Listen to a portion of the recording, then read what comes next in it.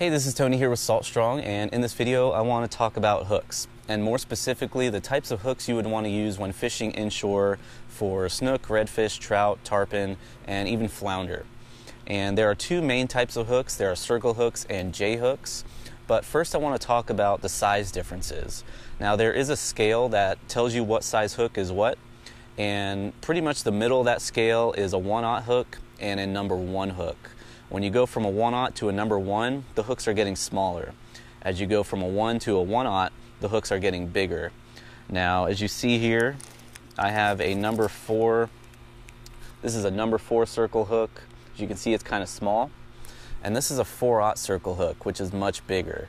So again, the 4 aught, which is a number with a slash and then a zero at the end, these are going to be your bigger hooks. Now, as these numbers get bigger, the hooks get bigger.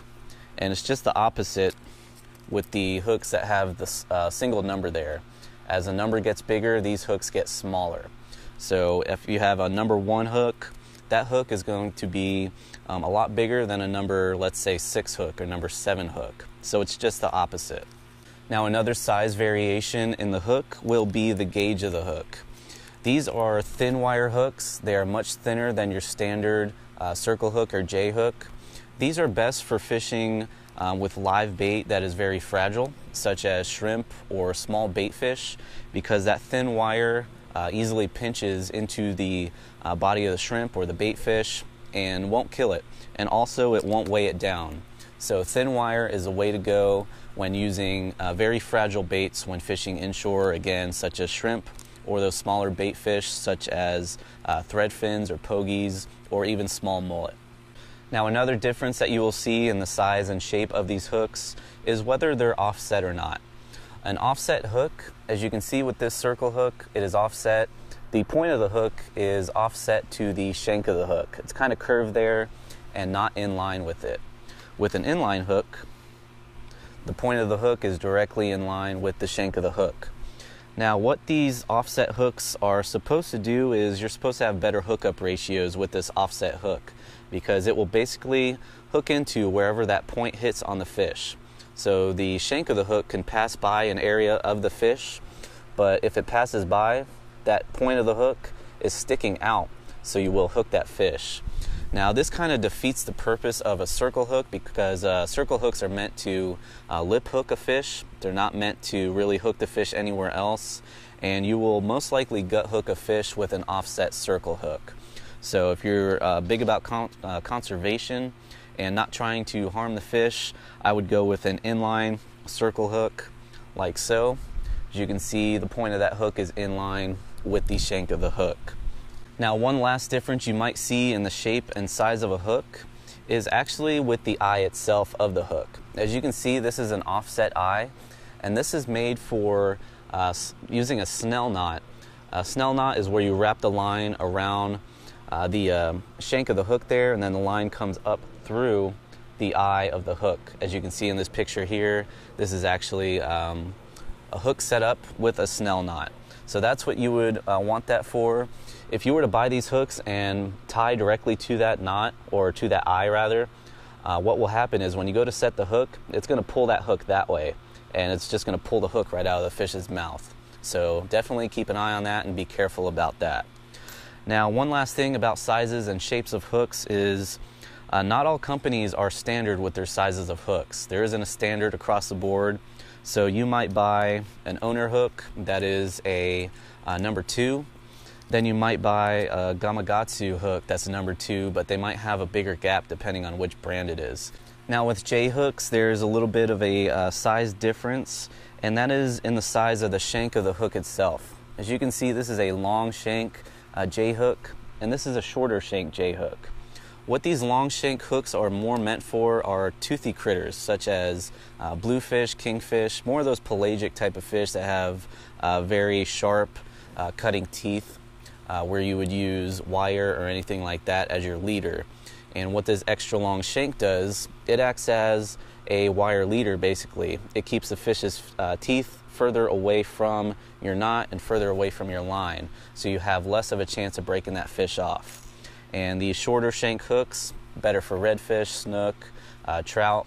some of those species that don't have those cutting teeth like most of those offshore fish do.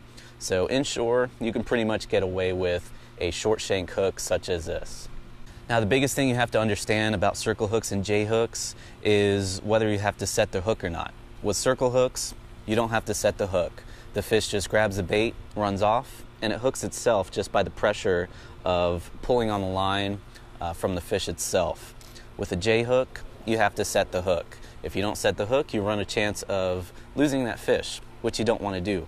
So um, this comes down to really what type of structure uh, with what type of hook you want to use. So if you're fishing the flats, open water, no structure, I like to go with the circle hook because you don't have to set the hook, the fish can run freely, and you don't have to worry about anything. If you're fishing near structure, such as docks, bridges, mangroves, uh, pilings, or anything like that, I like to go with the J hook because you have to set the hook. And with that being said, when you do set the hook, you're starting to already pull that fish away from the structure. So that's an advantage of using the J hook. It turns their head, it pulls those fish away from the structure. If you use a circle hook near structure, you try to set the hook, you're going to pull the hook out of the fish's mouth. You're not going to get a hook set. And when you let that fish grab the bait and run, they're probably going to run into that structure and hide and possibly break you off. So just remember that. Um, depending on what type of structure, will definitely depend on what type of hook you're going to want to use. So pretty much when rigging any type of these hooks for either live bait or cut bait, I like to use a loop knot attached to my leader to the hook. That loop knot allows for more freedom uh, for the bait to swim around, allows that hook uh, to move around a lot more freely. So I like to go with that loop knot when tying the hook to my leader.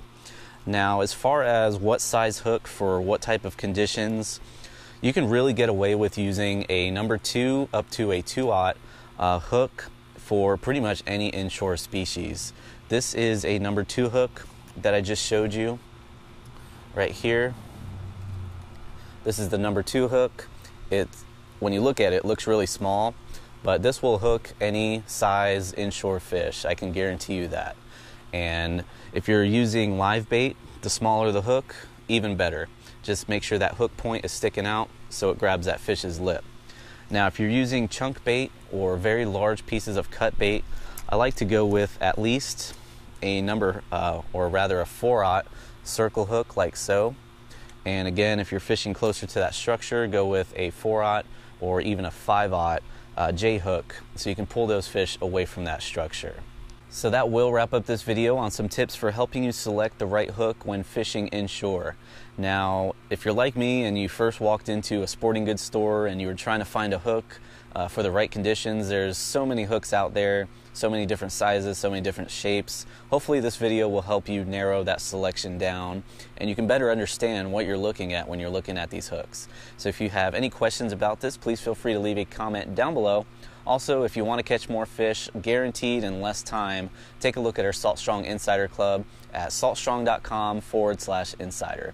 Until then, I'll see you on the next video.